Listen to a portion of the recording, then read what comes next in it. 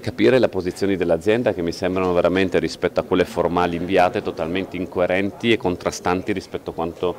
dichiarato precedentemente. Dopo l'incontro con i rappresentanti dei lavoratori, il governatore Fedriga si prepara al vertice con la proprietà Varsila nella giornata di domani, al quale porterà anche le richieste forti delle istituzioni locali su una decisione, quella di trasferire la produzione dei motori in Finlandia, bollata come incomprensibile fin dalla prima ora. Lo chiederemo con forza e chiarezza da parte dell'azienda quali sono le intenzioni dell'azienda e dopodiché spiegheremo con altrettanta forza e tanta chiarezza quali sono le intenzioni delle amministrazioni pubbliche e parlo quindi sia della Regione che del governo nei confronti dell'azienda se dovesse confermare questa sua scelta. Una bomba sociale per il nostro territorio scoppiata nel bel mezzo di una crisi di governo. È un problema, non c'è dubbio, cioè avere un, un governo eh, non nel pienezza dei suoi poteri, perlomeno politici, perché ovvio che istituzionalmente ancora ce li ha,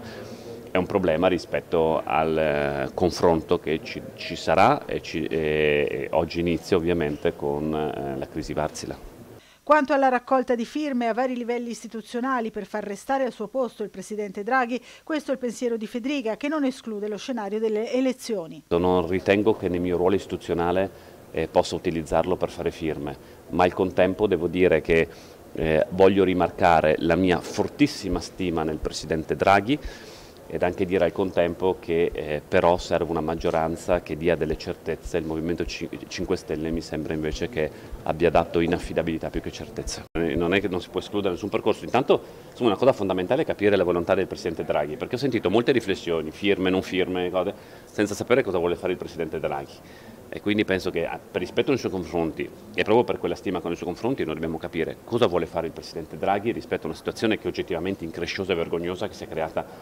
con eh, il non voto dei 5 Stelle alla fiducia, un, un, partito di maggioranza e quindi prima di tutto il Presidente deve dire eh, se eh, le intenzioni che ha perché capisco la situazione oggettivamente eh, devastante che c'è stata per la maggioranza, dopodiché eh, si, si valuterà rispetto prima di tutto alle volontà del Presidente Draghi.